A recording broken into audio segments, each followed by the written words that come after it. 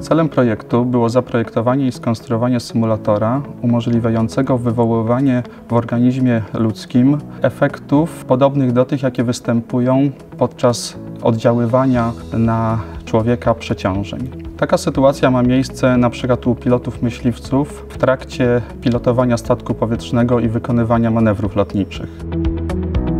Zasadę działania symulatora oparliśmy na metodzie oddziaływania niskiego ciśnienia na dolną część ciała LBNP. Umieszczając pilota w komorze niskociśnieniowej od pasa w dół, uzyskujemy efekt kumulowania krwi w kończynach dolnych. Generowanie dodatkowych efektów ortostatycznych jest możliwe dzięki umieszczeniu komory niskociśnieniowej na platformie ruchomej, tzw. Tak stole pionizacyjnym.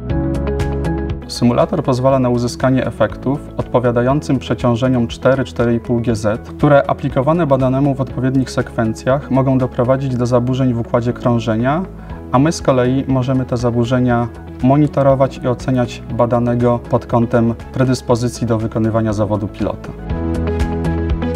Nie mamy przeciążeń, ale symulujemy wpływ na organizm poprzez obniżanie ciśnienia wokół dolnej połowy ciała, co powoduje obrazowo mówiąc odessanie trochę krwi do dołu. Poza tym możemy jeszcze się posługiwać bardzo szybkim bodźcem grawitacyjnym, bo mamy ten stół pionizacyjny, w związku z tym możemy badać skojarzoną reakcję.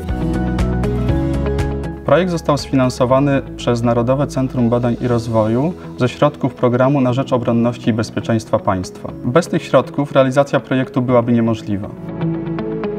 To jest jedno z niewielu znanych mi tak szybkich i no, w sumie dość po, poważnie obciążających układ krążenia rozwiązań, jakie, jakie w tej chwili są dostępne. Opracowanie symulatora było niezwykle istotne z punktu widzenia selekcji do lotnictwa wojskowego, ponieważ możliwy jest lepszy, precyzyjniejszy dobór kandydatów o lepszych predyspozycjach do wykonywania zawodu pilota.